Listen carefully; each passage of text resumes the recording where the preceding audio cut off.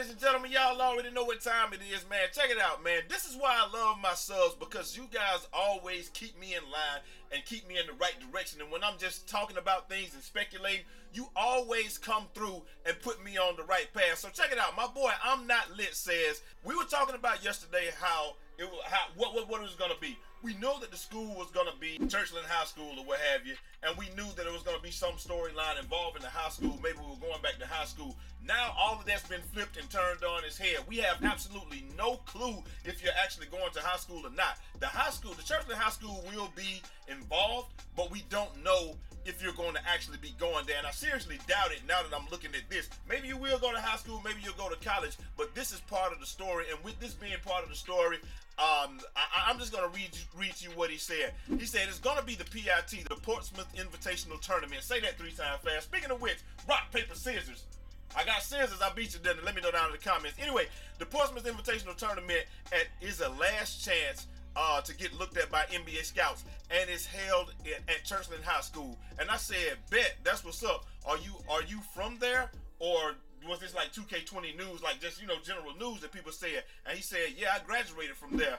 Uh, and I was like, "Wow!" So that was dope. So one of my subs came through in the Cobra Clutch and let me know what was up. So I felt it was only right that I go do some extensive research on this and give you guys the uh, best the best information that I could get. And so here we go. I just went straight to the straight to the, the source, Portsmouth Invitational Tournament, and uh, this is what I wanted to show you guys. It's all about the Portsmouth Invitational Tournament. I suspect this was a tournament that was probably big in the days before there was ESPN. You know, like they had to have tournaments like this back back before the internet, back before anybody could get tape. You could go anywhere and be seen. Now, I mean, they found Devin George somewhere, man. So, I mean, they found Jerry Rice at Mississippi Valley State. So, I mean, they're going to find you anywhere. But this was like a way to get seen. And so, I'm just going to go ahead and read what this says uh, to you guys. Each of the, each each year for the last 67 years, the PIT has invited 64 of the best college basketball seniors, seniors now, not uh, underclassmen, seniors from across the nation to participate in a four-day,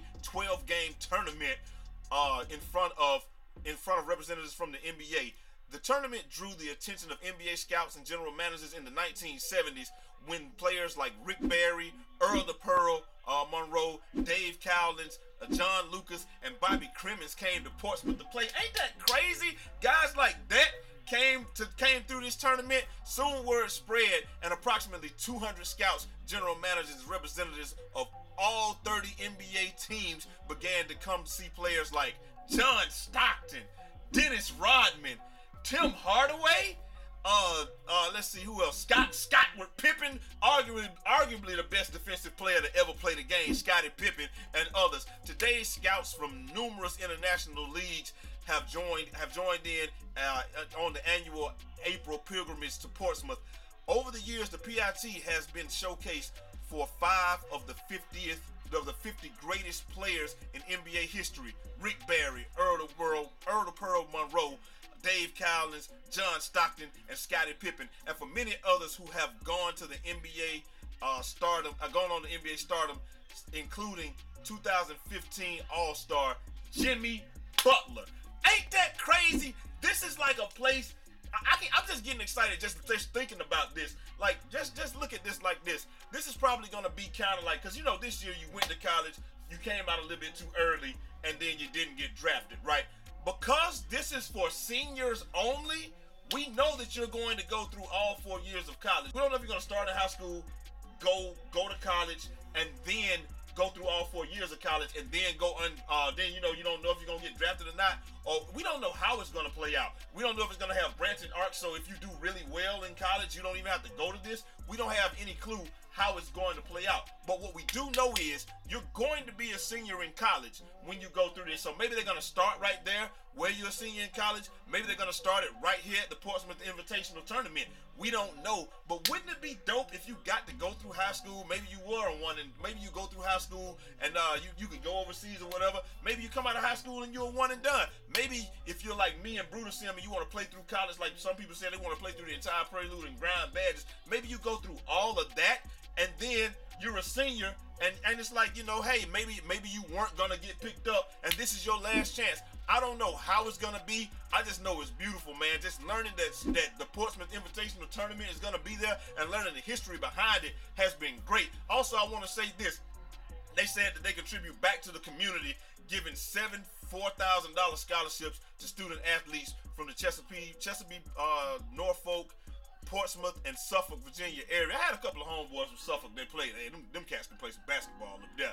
And, and in addition to the scholarships, approximately eleven thousand five hundred uh, from the tournament proceeds and is presented to local nonprofit organizations. That's dope. So not only are they trying to help people get to the league, and they've helped, and people like Jimmy Butler and John Stockton and Scottie Pippen, Earl Pearl Monroe, Rick Barry, and Dave Cowens have gone through there, but they're also giving back to the community. So I, I don't know how that's gonna um, how that's going to impact the game, but here's some names that I wanted to show you guys uh, that, that came through that this year, and they all got drafted that played in that this year. Justin James from Wyoming uh, is, is, now on the Sacramento Kings. Terrence Mann from Florida State is now with the LA Clippers playing with Kawhi, and he's going to be playing with uh, Paul George. Let's see what he can do.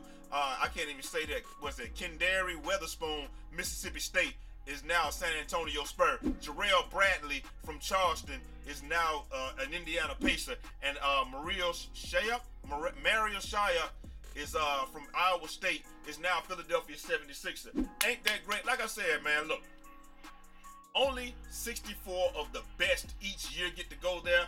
And, and like I said, it's gonna be crazy how they work this into the story. Like I said, I don't know if it's gonna be the jumping off point of it. I don't know if it's gonna be the main part of the story. I don't even know how they're gonna weave it in or do it. I just know it's it's it's something. It's news, and if you care to do the research, uh, you can find out everything. We can probably look at all of the stuff and find out everything about the 2K story. Or if you just tune into the channel, smash that like button and uh, stay tuned to you know to your boy. I will find all this stuff out for you. Uh, I've been looking at this. I looked on Reddit. I did a whole bunch of stuff, man. So like I said, shout out to my guy one more time. I'm not lit for for hollering at me and let me know that this is one of those things that I needed to do a story on. And uh, y'all just let me know, man. I got three NBA videos coming up tomorrow, so make sure y'all stay tuned. Uh, smash the like button, subscribe for more daily 2K content, and I'm about to let y'all up out of here, man. I'm not about to try to drag this out to 10 minutes. I just want to give you guys the information and let's just keep it moving. I'm out of here because I care about the community, man.